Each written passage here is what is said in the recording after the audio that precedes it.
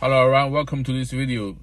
In this video, I want to talk about the, you know, the incident with GMAG Group. Did they pay me? Uh, what's the new developments? Well, there's no new developments. Okay. Um, I think several days ago, uh, one of the people that are working for GMAG, Ken, I think, he sent me an email inquiring about, uh, you know, he sent me a picture saying like, you know, supplier, can you do this product? I replied, we can do it, you know, but uh, unless you resolve your issue, maybe he doesn't know, you know, he's a new email, he's a new email. Maybe he doesn't know the incident. I said like, it, we we will not uh, produce for you unless you, you know, solve the issue from last time or like this time or you know if you pay full amount of the you know order value. And uh, after I sent that he didn't reply you know. So you know I also sent them one or two emails urging them to you know fulfill your obligation. Just pay me like you told you you would you know several times but they did not reply. So the worst news I think is that uh, they will not pay, and we have to sell it at a discounted price. Okay, and so that we can, you know, make our loss uh, to the minimum.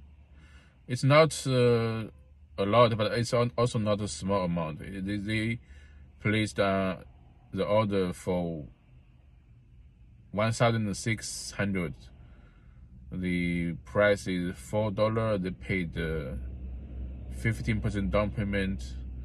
So i think it's about five thousand dollars right? Not a lot but not a small amount, amount of money. I feel like uh, um, alibaba does not protect the interest of the supplier the way they protect the interest of the uh, buyer. You know, if if there is a problem that the buyer has with the supplier, they can seek you know protection. Maybe they can seek uh, they can create a open a case. Okay, but I have tried on Alibaba. There's no way for us to you know to sue or to uh, complain a buyer that doesn't pay the final payment, doesn't pay the balance. So that is why I'm going to YouTube. I'm going to uh, Google review. I have already written them a bad review, and they know this. And even the guy, maybe one of the uh, owners, uh, what's his name? One of the Jewish people let me see his name.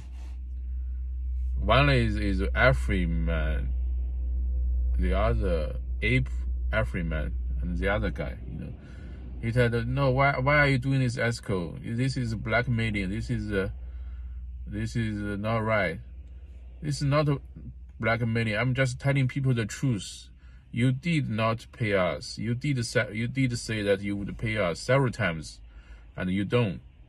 Okay, this is not definitely not right. I'm not, you know, had I know it would be this difficult dealing with your company, I would not do this. You know, before I didn't know it is it, it would be so hard to make money, you know, working with uh, Jewish people. And I don't, you know, I don't have personal hatred toward the Jewish people, but it happened to be it happened to be, you know, it's just like, you know, you know, people, for people who know me for a long time, they know like, uh, several years ago, I report, uh, illegal teacher teaching in Shanghai. Some people say like, oh, it's because I hate black people. No, it happened to be black people. It happened, he happened to be black people person and he's working illegally. At this time, it, it happened to be that I'm dealing with maybe a Jewish people company, and some of the other colleagues are other people from them from the company are Chinese. I can see from the from the email names, right?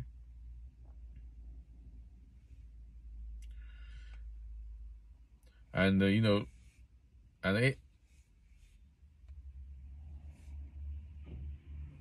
and both both of the times, you know, it's not out of hatred.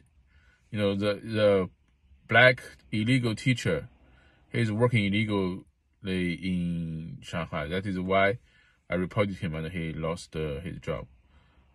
The this company GMAG is also from New York. That black guy is also from New York, and uh, both of them are from Brooklyn. You know why? You know, why so?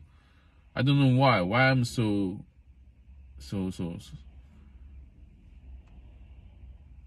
what what is so special about the Brooklyn? I don't know.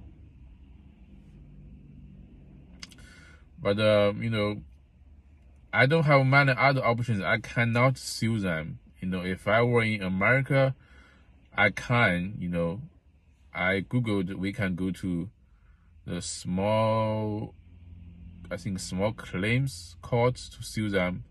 But I'm not a New York citizen or American citizen. I cannot go and sue them. I tried on Alibaba. There's no option to see compensation from them. You know, that is the only you know what I can do is that you know I I let more people know this. I'll talk on social media, Alibaba. Maybe I'll write an article on maybe a medium, like a blog because some people they don't believe me. Like in my last video, I can see there's a comment.